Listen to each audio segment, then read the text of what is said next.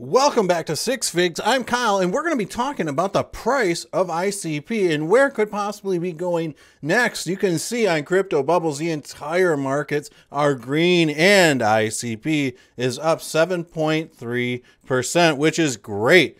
Now, I've been kind of out of the game trading ICP the last few days myself, simply because there was a rising wedge that was forming, folks. Now, this is an interesting scenario because the bull stepped down and or the bull stepped up and broke down the bear's plans to strip the price of ICP. So, what exactly did happen? Well, price came up. We had that very nice bull pennant, and this thing kind of flagged out a little bit. And then we came back and tested the upper trend line of this rising wedge, and then price took off. So this is an interesting scenario because now price is at $4.25. There is right now a little bit of Elliott wave theory to the upside. So I am looking for somewhat of a little bit of a retracement going forward. Doesn't mean that it's going to happen, but I am looking for something of this nature. And whenever we start to see patterns that have kind of already formed a shoulder and half of a head, is that we need to watch out for a couple things. We need to watch out for a head and shoulders pattern that could drop the price right back into this rising wedge. Uh, but this is the one hour chart, so I mean, I'm not too worried about it.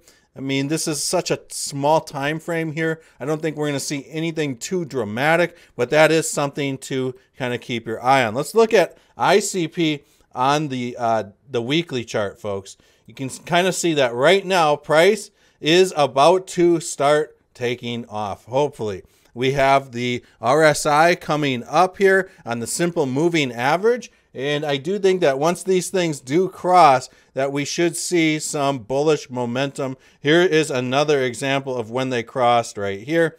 Price just kind of kicked up a little. So right now, what we have going is almost like this weird harmonic pattern that happened. But now on the weekly chart, there is almost like a bear pennant or bear flag whatever you want to call it, that is setting up right here. But I do think that price is too far away from this Ichimoku cloud. And I think that this could just simply be an ABC corrective wave.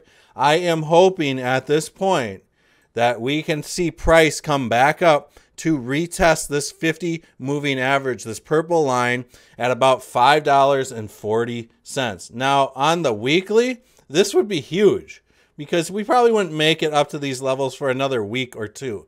Maybe into the second week of July, just a guess. But what's interesting about this is that we have got some clearance starting from like mid August to start pumping into this Ichimoku cloud. And this is going to do uh, wonders for Internet Computer because it's never been above the Ichimoku cloud in its entire existence on the weekly chart. And once you start getting above the Ichimoku cloud on the weekly chart, let's just look at Bitcoin. Here's a weekly chart.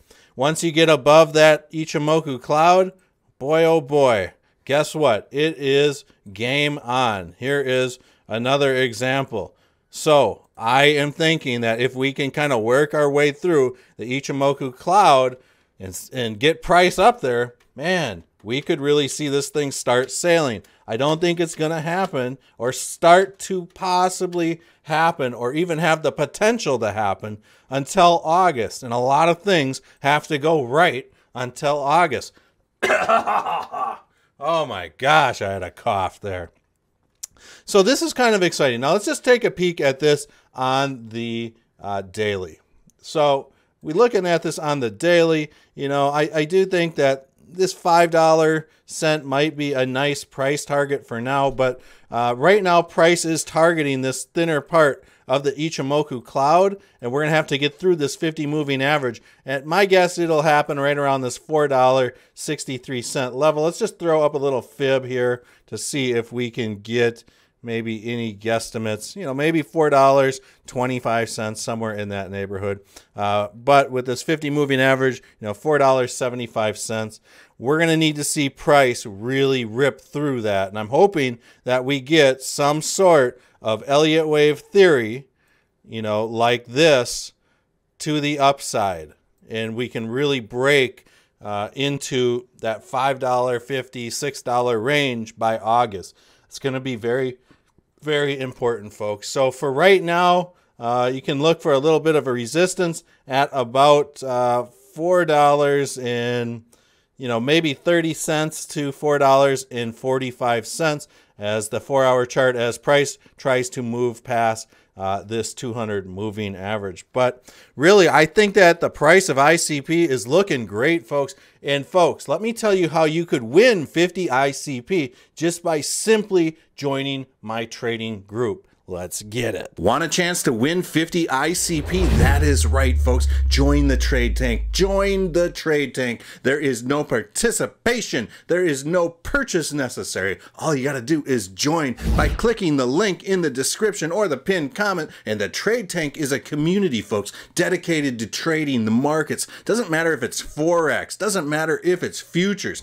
doesn't matter, folks, if it's options or crypto trading. We want you in the trade tank. And if you don't have have an internet identity because the trade tank is built upon DFINITY's internet computer, you could go ahead and create one. And that will allow you to seamlessly navigate through the ICP ecosystem. You might as well check it out while you're there. So, Trade Tank, folks. That's where you want to be. All you got to do is enter for a chance to win the grand prize of 50 ICP, which we will be giving away once the Trade Tank hits 500 members. So, I love you all. We'll see you in the Trade Tank.